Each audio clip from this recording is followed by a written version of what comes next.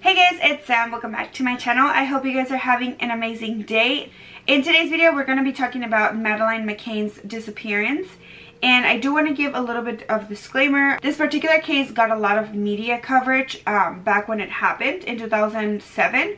Um, so there, during research, there were a lot of contradicting uh, sources. If I did miss anything or I got something incorrectly, please leave it down in the comment section your sources um, as well as the correct information. Before we get started, please don't forget to subscribe and little button down there. And if you want to learn more about Madeleine McCann, then just keep on watching. So Kate and Gerry McCann were both born in 1968 and both lived in Rothley, Le Leicestershire. I'm I'm sorry if I butcher the names. They were both Roman Catholic. Kate was actually from Huyton near Liverpool and she graduated in 1992 with a degree on medicine from the University of Dundee. She actually quit her job in order to become a stay-at-home mom, uh, but she would also work for some child charities. Now Gerald, which is um, Gerry's name, he was also a doctor. He was born in Glasgow and graduated from the University of Glasgow with a degree in physio physiology and in sports science in 1989. Now in 1992, he applied to get his master's degree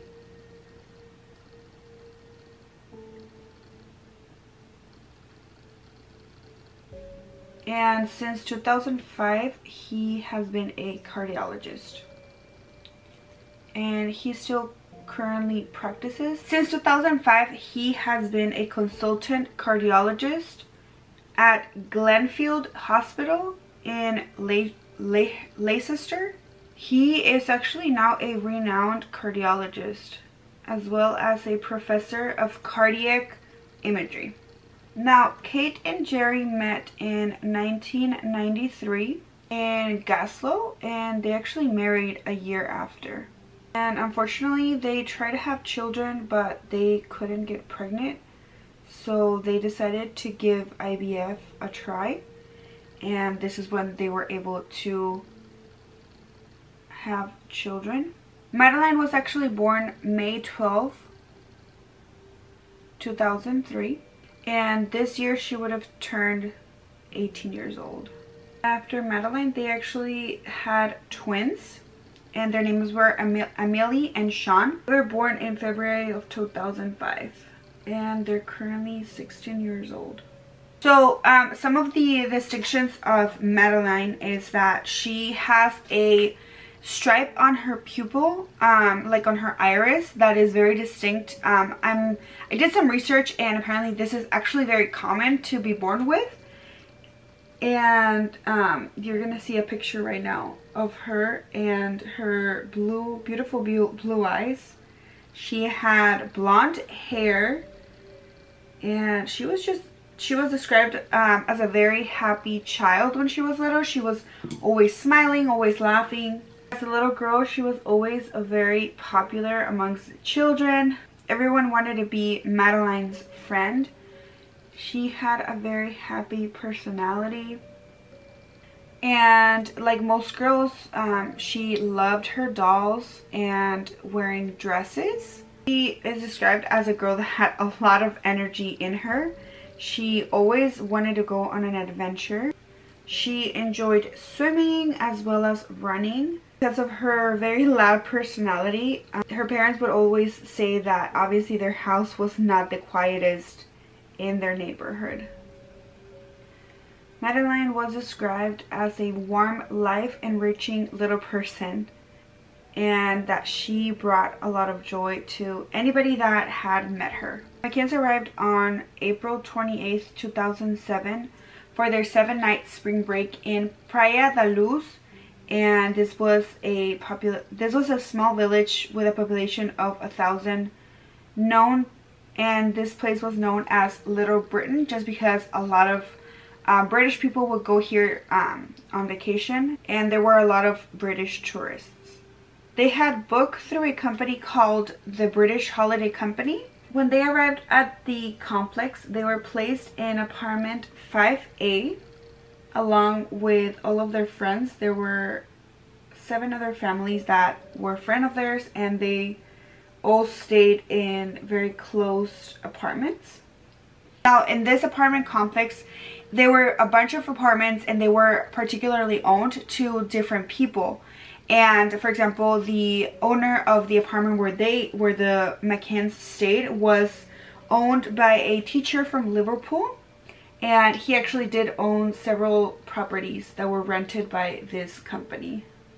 The McCanns went to this family vacation with seven friends and eight children and most evenings they would dine together the adults at a uh, tapas restaurant that was in the actual resort at which the media actually called them the Tapas 7. And so the Tapas 7 included Fiona and David Payne, Jane Tanner and her partner Russell O'Brien, and Matthew Oldfield who was with his wife Rachel Oldfield. Now the tapas restaurant where Gerry and Kate were having dinner with their friends was about 50 yards from apartment 5A and it was just across the other side of the swimming pool below their apartment 5A.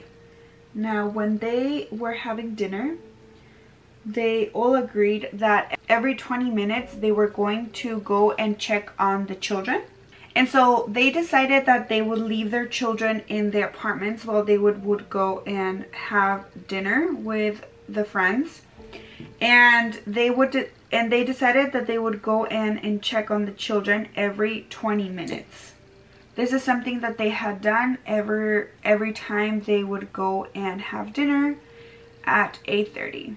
If you think about it, anybody that would watch the family um, would know their schedule and they would know when the children were alone by themselves. So I don't know, I don't understand how they didn't think of that.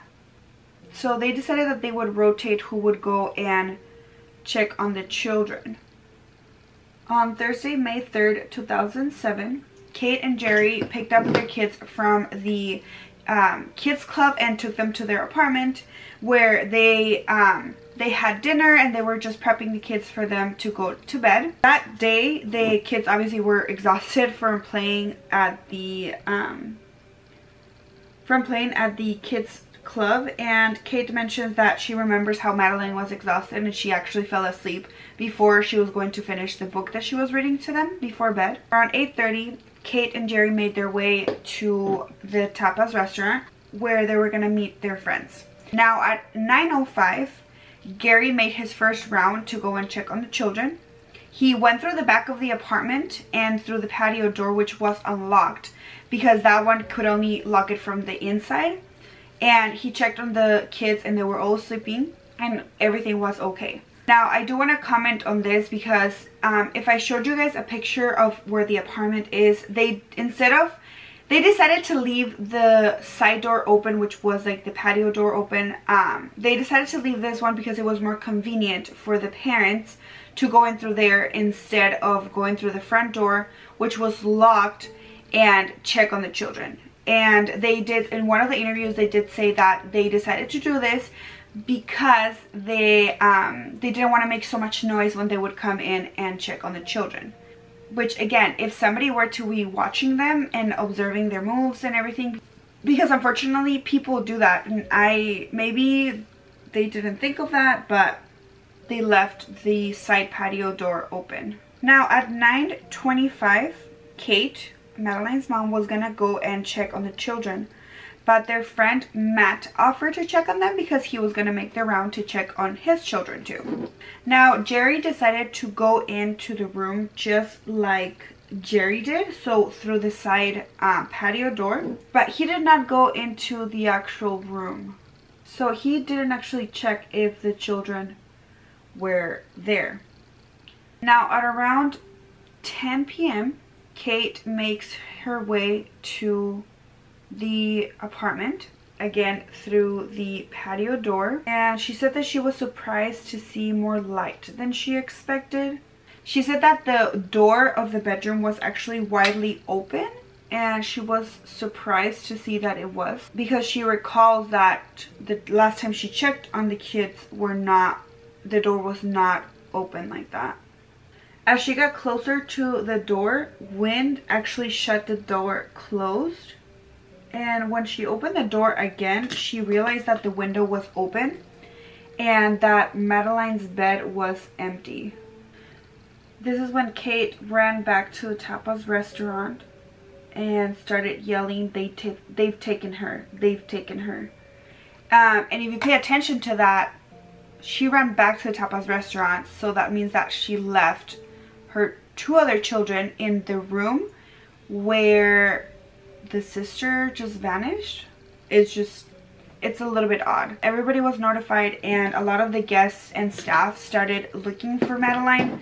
And um, the police actually said that she might have just wandered off um, and she was like asleep by a bush so that's why they couldn't like find her and the police that actually bring um, dogs to look for Madeleine um, but unfortunately they just they went around the premises and they just couldn't find her and so this is when the FBI of Portugal was contacted so this is where the police start investigating and it kind of gets a little bit frustrating and you'll see what I mean uh, when investigators got to apartment 5D, they were very surprised to find that the um, apartment was not preserved in order to make sure that the evidence was still there or any um, type of clues that they could have gotten.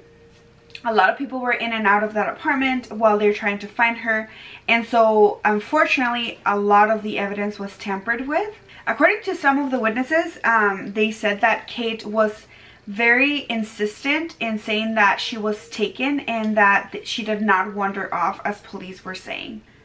Now after the disappearance, a member of the Tapa 7, which was Jane Tanner, said that she actually saw something that might be important to the investigation. She said that on her way back from checking on her children, she, this was around 9.15, she actually saw a man crossing the road from the corner from where the McCann's apartment. And you can see kind of like where um, Jane actually saw the man.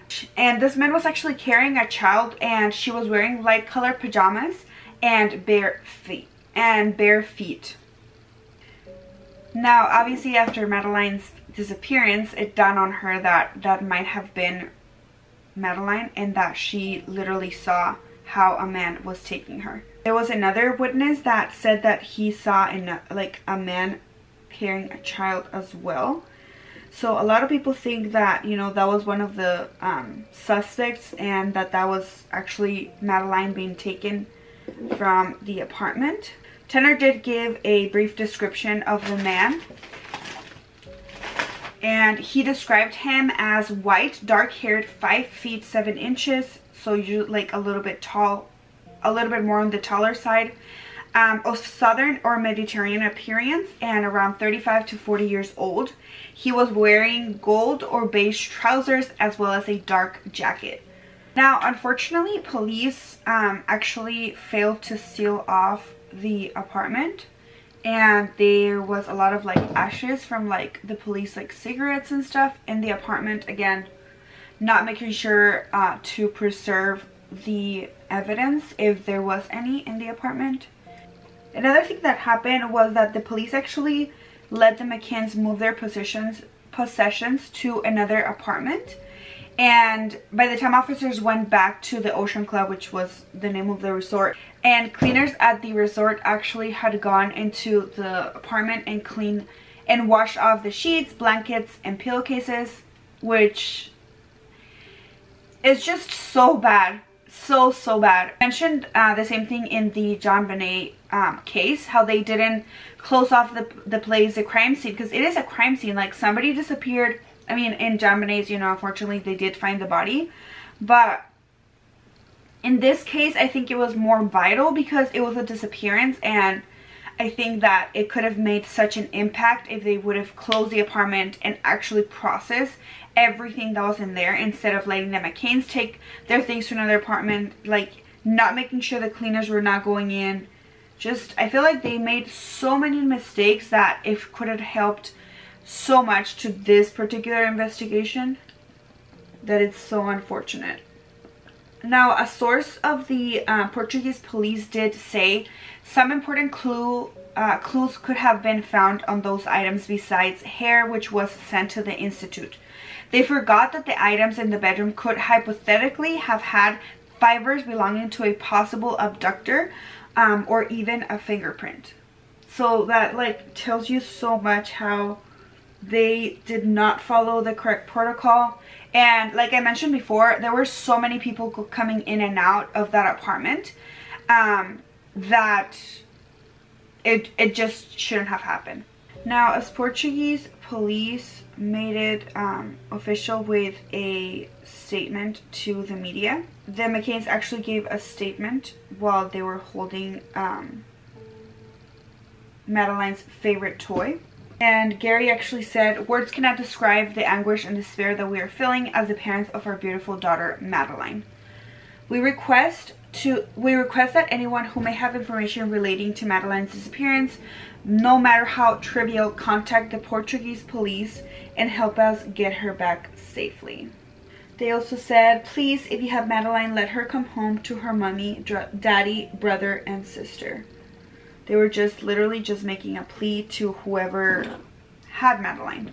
Now, 12 days after Madeleine's disappearance, Robert Murat uh, he was a 34-year-old British Portuguese property consultant, became the first suspect. As three members of the Tapa 7, Fiona Payne, Russell O'Brien, and Rachel Oldfield, said that they had seen Murat outside the apartment 5A shortly after the disappearance.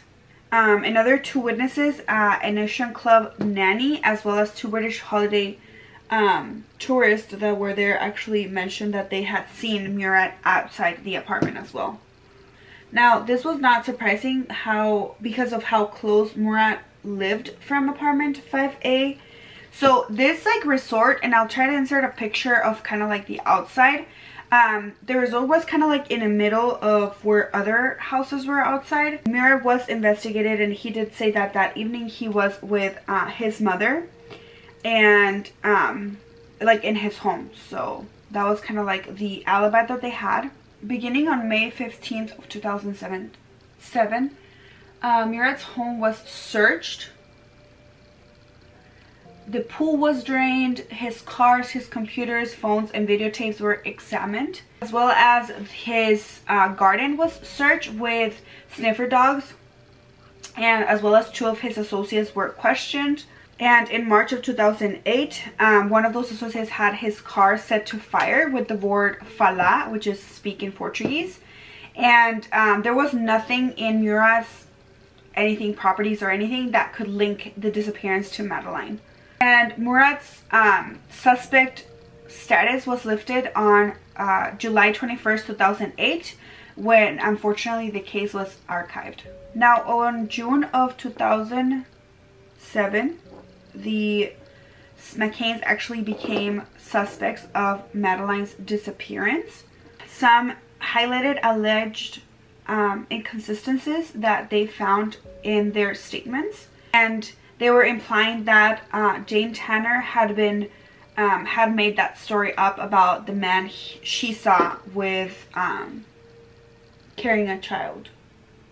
Now among some of the inconsistencies the question relied on whether the McCanns had checked in on the kids either through the front door or through the side um, patio door. The couple had entered through the front door of the apartment 5A and that this door was locked. And like I mentioned, the patio doors could only be locked from the inside. So the parents did let that, and so the parents did let that patio door unlocked so it would be easier for them to check on the children. There was another inconsistency about whether the front door was ever locked. And this is because Gerry told the Sunday Times in 2007 in December that they had used the front door earlier in the week but it was next to children's bedroom so they didn't they started using the bat the patio door instead just like I mentioned because they didn't want to make too much noise and wake up the kids. Now the inconsistencies kept popping up because like I mentioned, you know, she instead of taking both of her children um, of the twins back to the restaurant with her and letting everybody know that Madeleine was missing, she decided to just leave them. Now, the apparent discrepancies between um, the statements contributed to the view um, that the police had that there was actually no abduction. And having Kate scream that they had taken her, that was actually like a suspicion for the police. Kind of like questioning like, who do you think took her? Now, there were suspicions that uh, Madeleine had actually died in apartment 5A as a result of the accident as it is rumored that the McCanns and some of the other families had actually given the kids um, something so that they could stay asleep and that her parents maybe had given her way more than it was supposed to and that she had actually passed away.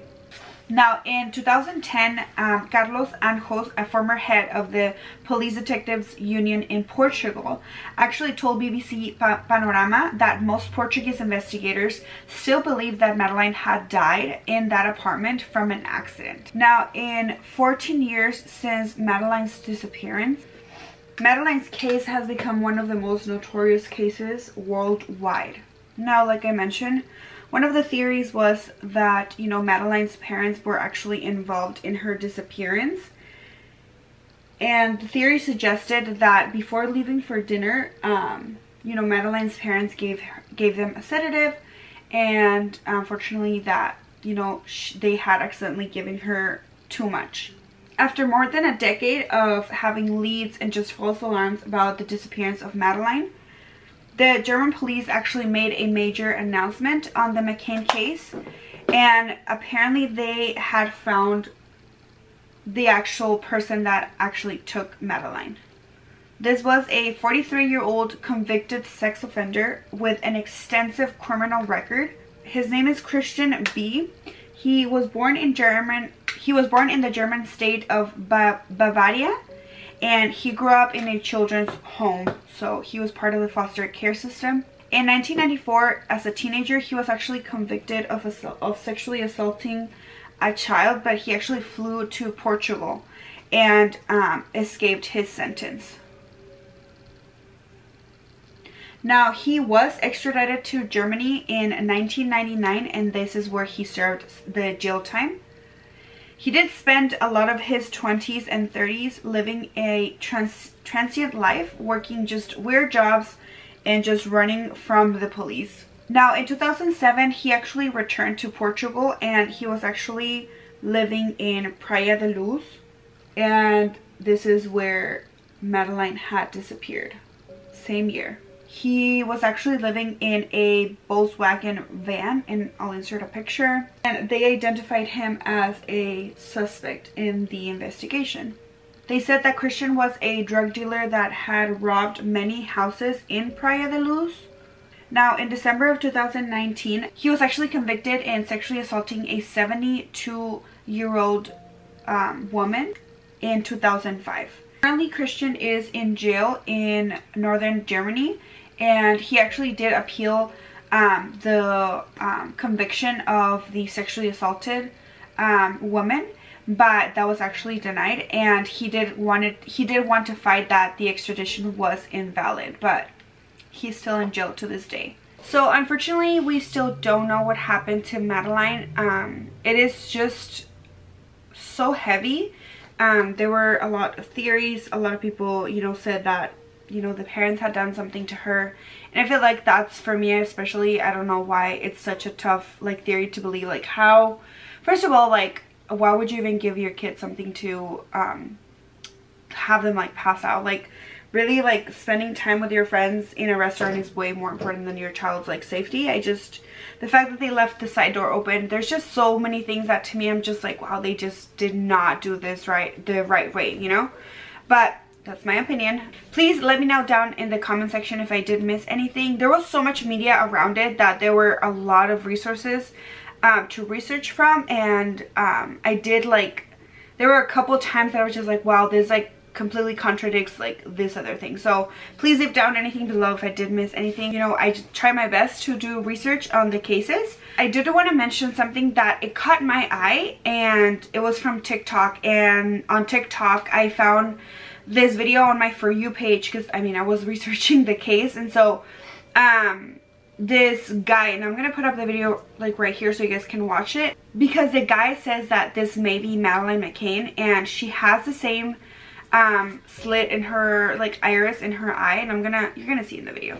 And I don't know she just resembles Madeleine she did share some uh, pictures of herself when she was little because um, I guess in that specific video um, that the guy is kind of like um, doing like a green screen um, that video is no longer up in her account I think her account is private now um, but in that video, I guess there were like comments saying like, oh, you should get like a DNA test. Um, and she shared like pictures of her when she was little. And she does resemble quite a bit of Madeleine. You know, there's many rumors. There was another TikTok video. I'm going to try and see if I can find it. Um, of this guy that was um, on holiday. Like he was like on vacation by a place by Praia da Luz. Um, and there was this one girl crossing the street um, and she looked very very similar to Madeleine as if she would like be right now I think it was like last year or two years ago and she did have the the, the um it's not a mole but um, that characteristic on her leg, on her left leg. And that is it for today's video. I hope you guys learned something from this case. And all the products that I used in today's video are going to be linked down in the description box as well as my social media. And until then, I'll see you guys on the next one. Bye!